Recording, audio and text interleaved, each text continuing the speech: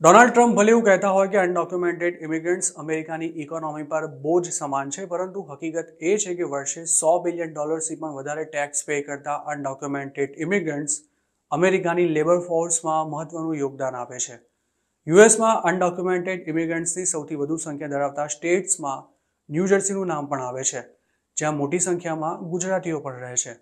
અમેરિકાની Institute on Taxation and Economic Policy એટલે કે આઈટીઈપીના એક રિપોર્ટ અનુસાર બે હજાર બાવીસમાં અનડોક્યુમેન્ટેડ ઇમિગ્રન્ટ્સે છન્નું પોઈન્ટ સાત બિલિયન ડોલર્સનો ફેડરલ, સ્ટેટ અને લોકલ ટેક્સ પે કર્યો હતો, જેમાં fifty nine point seven billion dollar જેટલી રકમ ફેડરલ ગવર્મેન્ટને, જ્યારે બાકીની સાડત્રીસ પોઈન્ટ ત્રણ બિલિયન ડોલર રકમ સ્ટેટ અને લોકલ ગવર્નિંગ બોડીને મળી હતી. અમેરિકામાં એવા છ સ્ટેટ છે કે જ્યાં રહેતા અનડોક્યુમેન્ટેડ ઇમિગ્રન્ટ્સ વર્ષે એક બિલિયન ડોલરથી પણ વધુનો ટેક્સ ચૂકવે છે અને તેમાં ન્યૂ જર્સીનો પણ સમાવેશ થાય છે. ન્યૂ જર્સીના અનડોક્યુમેન્ટેડ ઇમિગ્રન્ટ્સ તરફથી મળેલો ટેક્સ મોટાભાગે સેલ્સ એન્ડ એક્સાઇઝ પ્રોપર્ટી ટેક્સના સ્વરૂપે મળ્યો હતો અને આ સિવાય ઇન્કમ અને પેરોલ ટેક્સ પેટે પણ સરકારને આવક થઈ હતી, જે સોશિયલ સિક્યોરિટી નંબરથી નહીં પરંતુ ઇન્ડિવિજ્યુઅલ ટેક્સ આઇડેન્ટિફિકેશન નંબર દ્વારા પે કરવામાં આવ્યો હતો.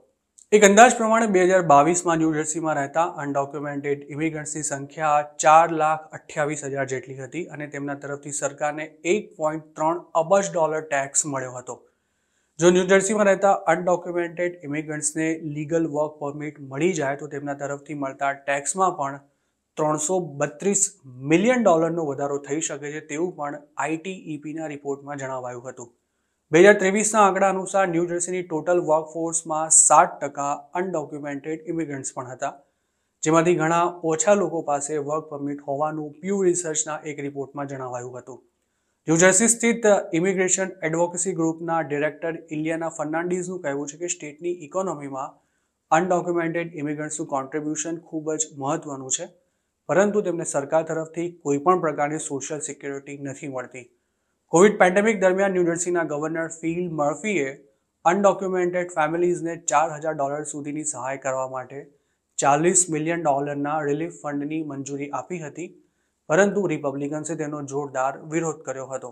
રિપબ્લિકન્સ એવા દાવા કરે છે કે અનડોક્યુમેન્ટેડ ઇમિગ્રન્ટ્સને કારણે અમેરિકાની સોશિયલ સિક્યોરિટી અને મેડિકેર પર બોજ વધી રહ્યો છે, તેમજ તેમના લીધે સ્થાનિક અમેરિકન્સની નોકરીઓ છીનવાઈ રહી છે.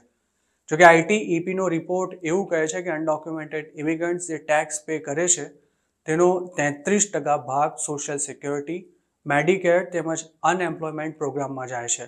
પરંતુ તેમાંથી એકેનો લાભ અનડોક્યુમેન્ટેડ ઇમિગ્રન્ટ્સને પોતાને નથી મળતો.